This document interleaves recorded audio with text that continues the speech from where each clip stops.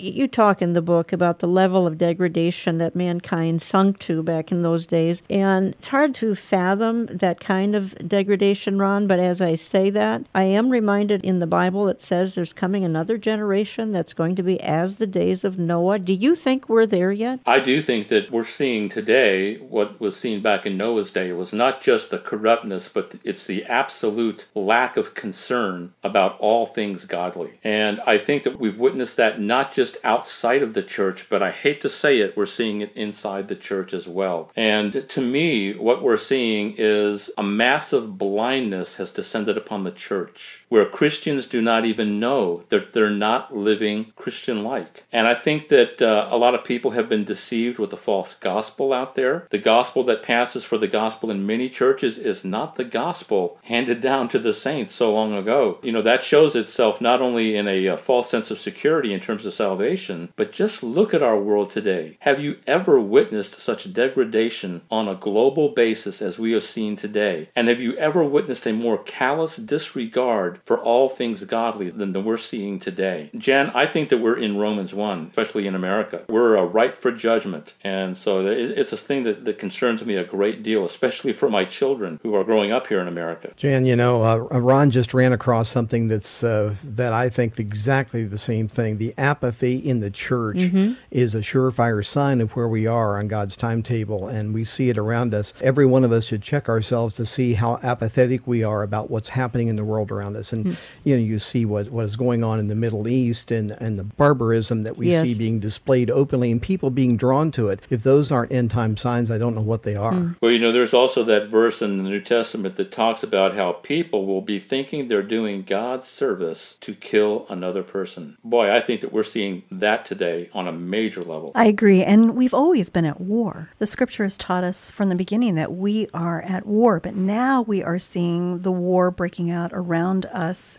in physical locations. It's everywhere. Mm-hmm. The things that are happening are growing and they're terrifying if we allow them to be that. If we look at them like you say, Jan, that these things must happen in order for the Lord to return. Then we can look at them as warriors going out to fight with a sense of joy in our heart. Ron Rhodes, do you feel that the Ark, Noah's Ark, will actually be discovered, perhaps, who knows, near future, even distant future, as a reminder that we are in that kind of a generation, or as a reminder that we may be in the last days? It's very possible that the Ark could be discovered, and certainly a great deal of money has been spent looking for it, and a number of of the people looking for it happen to be people that I know personally, as I know that you know them as well. Uh, I would like to be able to see that before I pass from this earth, personally. There is a danger, however, Jan, and that danger is simply this. If the ark is discovered, will there be people out there who will be tempted to worship it, like they do so many other religious icons out there? And so, while on the one hand, I hope it is discovered because it would add tremendous punch in terms of the accuracy of the Bible,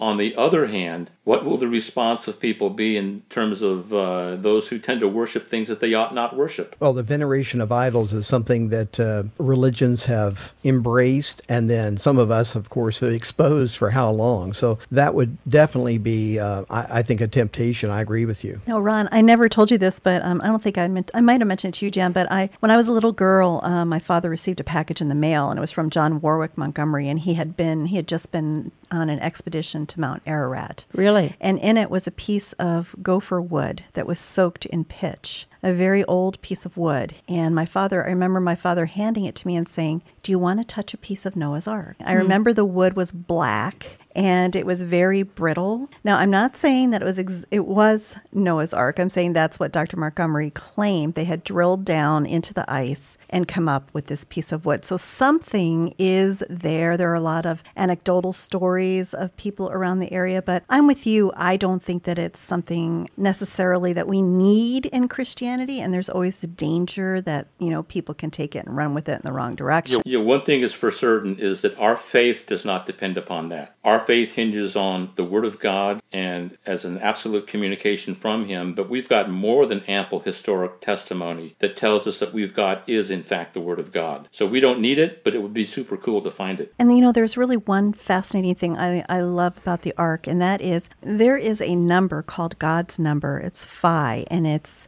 I learned about this since I teach art, and it's 1.6180, and it goes on. This number can be found all throughout the creations of God. It can be found in the pine cone, it can be found in leaves on the branches, it can be found in Noah's ark. So God built Noah's ark based on this numerical calculation, just like the Ark of the Covenant mm. was built on this numerical calculation. So God is so amazing mm. and so incredible, and there is scientific evidence of what he does.